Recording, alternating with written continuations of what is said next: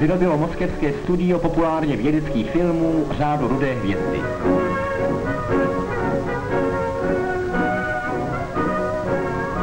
Věda a technika.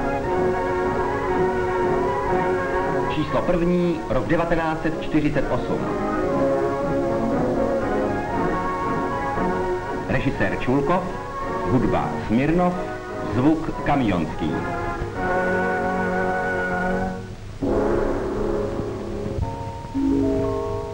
Poklady země.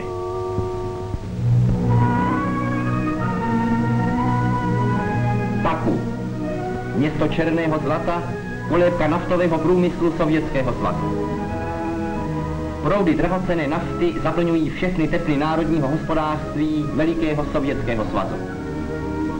Nafta je stejně potřebná jako chléb, kov nebo uhlí pustinách, které byly ještě nedávno bez života, vyrůstají stovky naftových věží. Sovětští geologové dělají vývrty i na dně moře.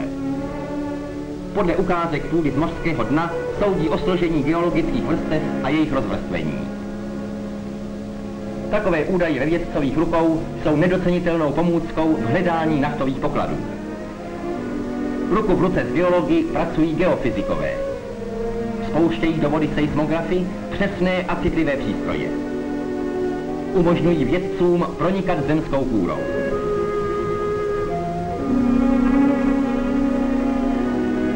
V určité vzdálenosti spouštějí nálože výbušnin. Připravte se. Pozor. Pal. A ve vodě nastane výbuch. Explozivní vlna se odráží jako ozvěna pokaždé, když dojde k hranici nové vrstvy a vrací se k seismografu. Tato vlna způsobuje kvění zařízení seismografu, které vyvolá elektrické výkyvy. Tyto výkyvy jsou potom předávány elektrickým vedením na seismografickou stanici. Zde se výkyvy zapisují na fotografický papír v podobě křivek. Srovnáním údajů několika seismografů určují vědci geologické složení mořského dna. Například takovéto klenuté rozložení vrstev je charakteristické pro místa, kde bývá nafta. Seismografické zkoumání pomáhá i na souši. Jeho široké použití ve spojení s jinými způsoby bádání pomohlo objevit nejbohatší ložiska nafty v oblasti Kirovobadu. Vedoucímu badatelských prací, členu Azerbajžanské akademie věd Ašrafu Ali Zade byla udělena Stalinova cena.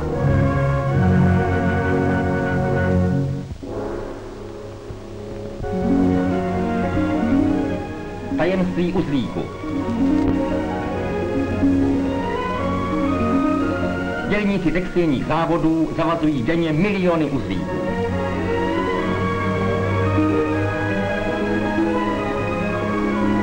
Je-li nit jen o něco silnější, přetrhnete. K zavázání každého uzlíku je zapotřebí pěti až šesti drahocených vteřin. Ruční navazování je nehospodárné, Vážou se malé uzly s nerovnými konci a často je zboží katové.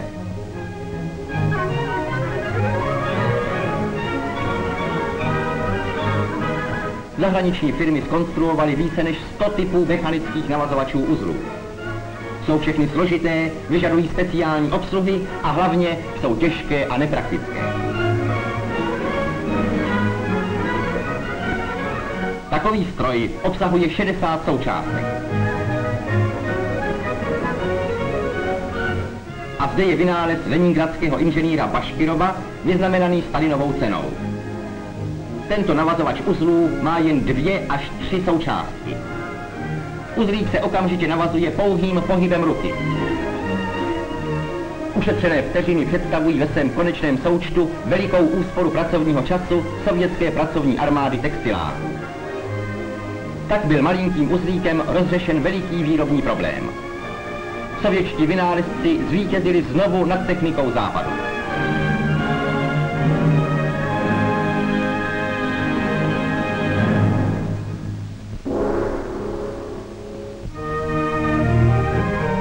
Pancéřové srdce.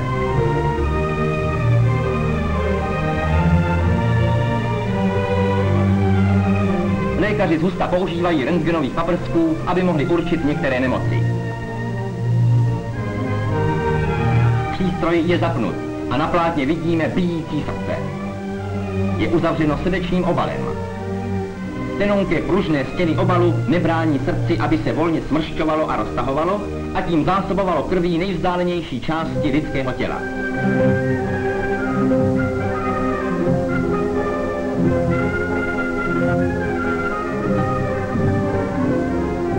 Ale následkem některých nemocí se může obal srdce změnit. Ukládá se v něm vápno, tvoří se jizvy a srůsty. Obal ztrácí svou pružnost, stává se z něho tvrdý a nepodajný pancéř. Stisknuté srdce stěží pumpuje krev. Člověk těžce a nebezpečně onemocní. Má špatný oběh krve, otéká. Normální funkce organismu je narušena. Nemocný je odsouzen k pozvolnému odumírání.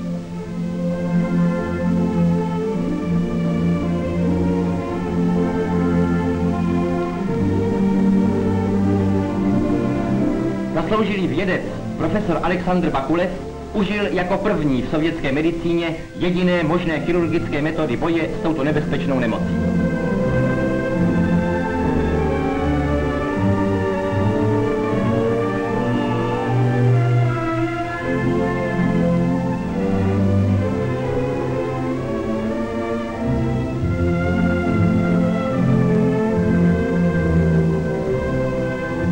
Operace v oblasti srdce vyžaduje velikého umění a znalosti. Je těžké dostat se k tomuto pro život nejdůležitějšímu orgánu a je velmi nebezpečné se jej dotknout nožem.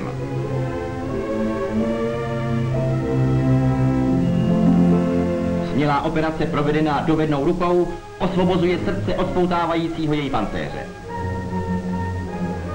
Část tvrdlého obalu srdce se odstraňuje. Osvobozené srdce začíná znovu pracovat normálně.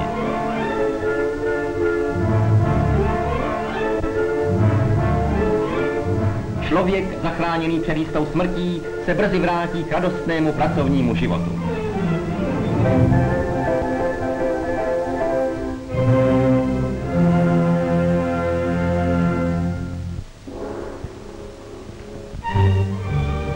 Ocelové ruce.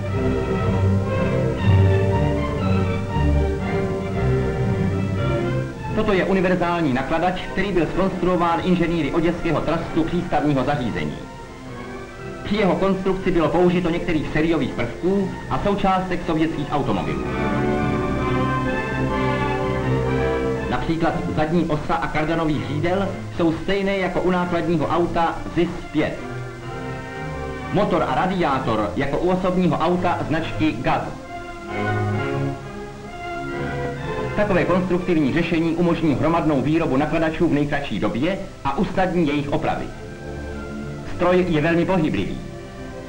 Tato vlastnost je nutná pro práci v přeplněných přístavech a skladech.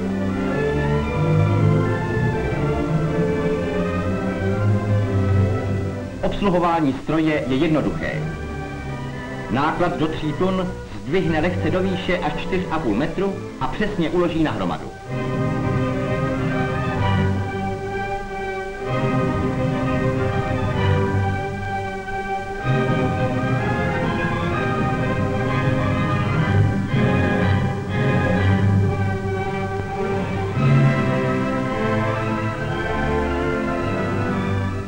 Podle objemu a tvaru nákladu se mění vzdálenost mezi rameny stroje.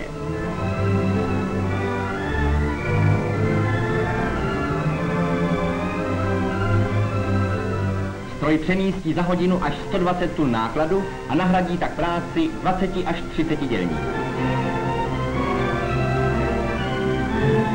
Univerzální nakladač prošel úspěšně všemi zkouškami a začal se již vyrábět sériově. Neúnavné ocelové ruce budou již brzy pracovat na všech sovětských dopravních magistrálách. Sovětská technika přispěchala na pomoc těžké fyzické práci.